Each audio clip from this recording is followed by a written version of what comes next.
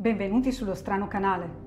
Trevor lascia la festa di Natale per andare a recuperare qualcosa nella banca presso la quale lavora.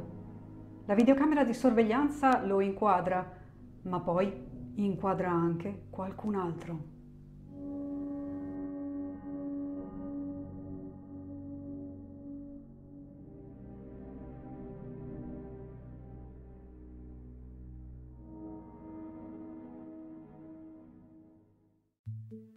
Il peggiore incubo di ogni famiglia è che un membro di essa possa sparire nel nulla per sempre, specie se un velo di omertà arriva a coprire l'intera vicenda.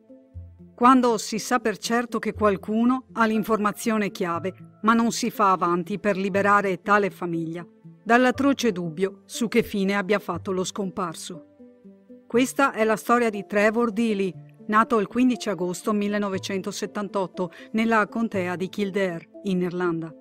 I suoi genitori sono Michael e Anne Dealey, che prima di lui hanno avuto altri tre figli. Trevor si iscrive al Waterford Institute of Technology, ma abbandona gli studi dopo due anni per seguire un corso di informatica a Dublino. Nel maggio del 1999 viene assunto dalla Bank of Ireland Asset Management di Lesson Street, sempre a Dublino, per lavorare nel reparto che si occupa, tra le altre cose, della manutenzione della rete dei computer dell'azienda. Arriva la fine dell'anno 2000.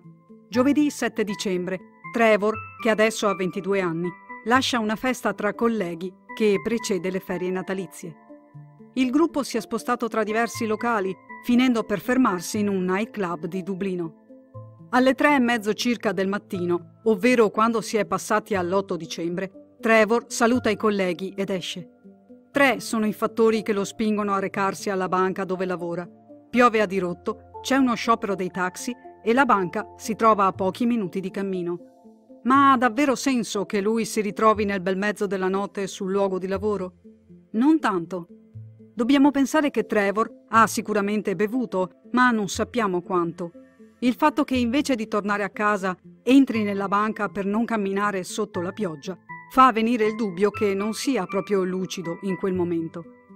Dalle indagini condotte in seguito si scopre che mentre si trova lì controlla le email. Poi prende un caffè con un collega che sta facendo il turno di notte. Tale collega descriverà Trevor come alticcio, ma non ubriaco fradicio. Prima di andarsene, quando sono da poco passate le 4 del mattino, prende un ombrello lasciato da un membro del personale e se ne va. Mentre torna a casa, lascia un messaggio vocale a un amico nel quale si scusa per non aver risposto a una chiamata arrivata in precedenza e assicura che si sentiranno il giorno dopo. Un messaggio banale, nulla che possa rivelare informazioni vitali a chi dovrà indagare sulla sua scomparsa.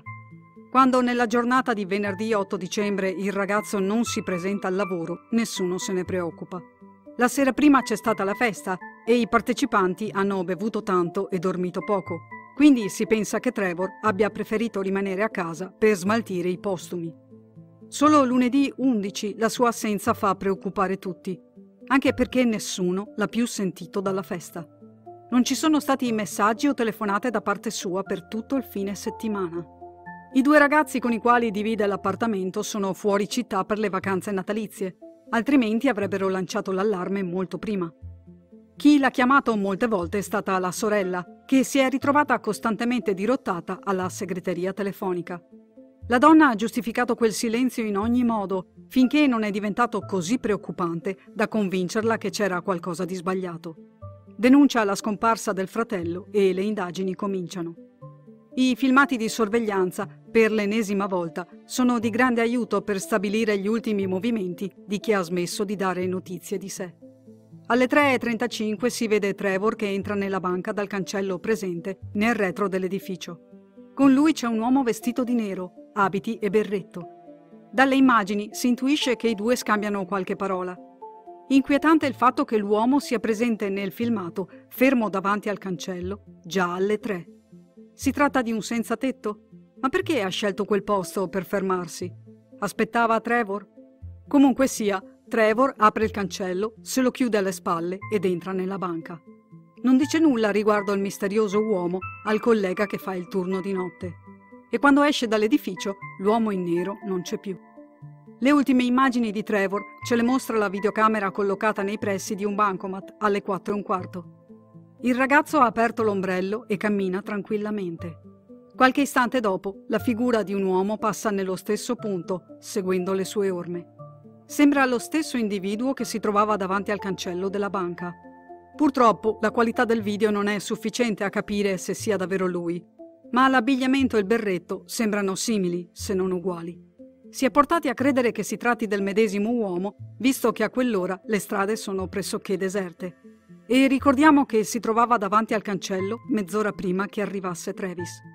Un atteggiamento sospetto, secondo il parere della polizia. I due avevano un appuntamento? È per quello che Trevor è andato lì invece di andare a casa? La polizia prova a diffondere tali immagini nella speranza che la persona che ha parlato con Trevor davanti al cancello si faccia avanti ma nessuno si presenta a dare la sua versione degli eventi. Dato che per tornare a casa Trevor ha dovuto attraversare uno dei ponti che si ergono sopra il Grand Canal, il nucleo sommozzatori della polizia si mette all'opera per dragarlo. Si teme che possa essere caduto in acqua o, peggio, che qualcuno lo abbia ucciso e gettato giù dal ponte. Dopo giorni di ricerche non si trova alcun corpo questo reca un sollievo momentaneo alla famiglia, ma subito dopo torna la domanda: dov'è Trevor? Che fine ha fatto? Il prossimo passo è continuare ad analizzare il percorso che il ragazzo ha compiuto per tornare verso casa. A un certo punto su quella strada si trova l'edificio dell'ambasciata degli Stati Uniti.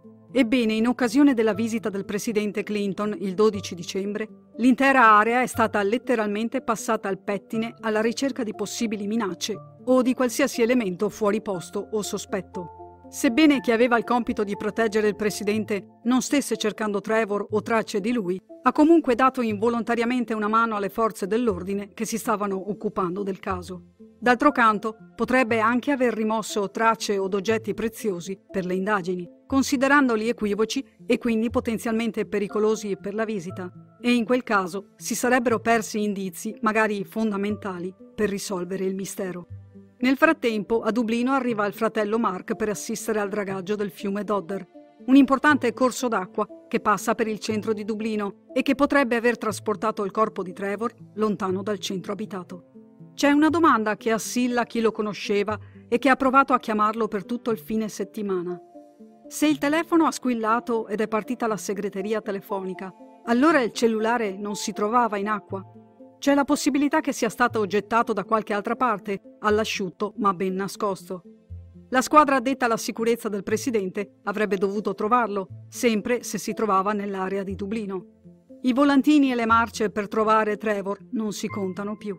Si fa di tutto per capire cosa gli sia successo o per ritrovarne almeno il corpo, se qualcuno lo ha ucciso.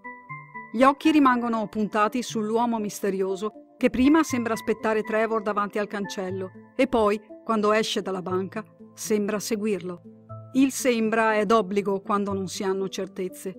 Peccato che la videocamera non abbia registrato l'audio della conversazione tra i due.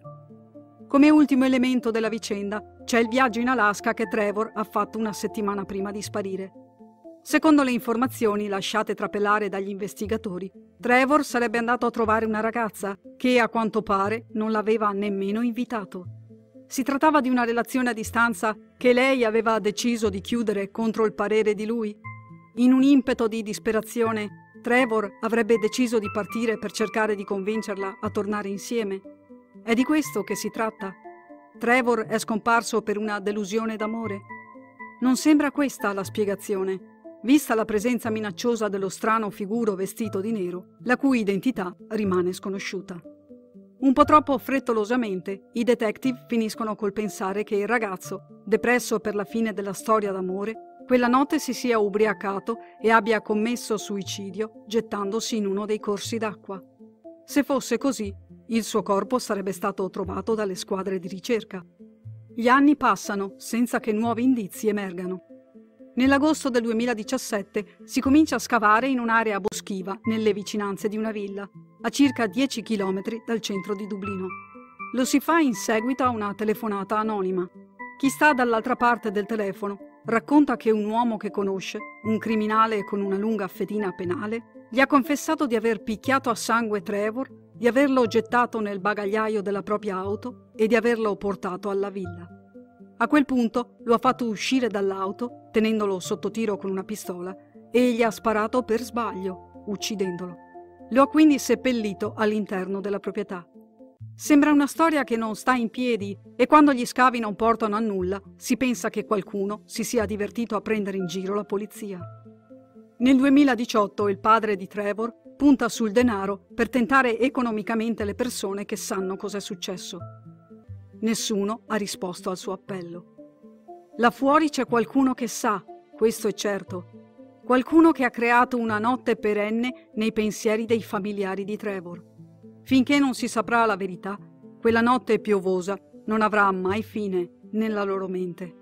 Ci auguriamo che un giorno qualcuno parli e che porti l'alba che tanto desiderano. Ci auguriamo che sia profetica la frase del poeta Khalil Gibran quando dice Per arrivare all'alba non c'è altra via che la notte.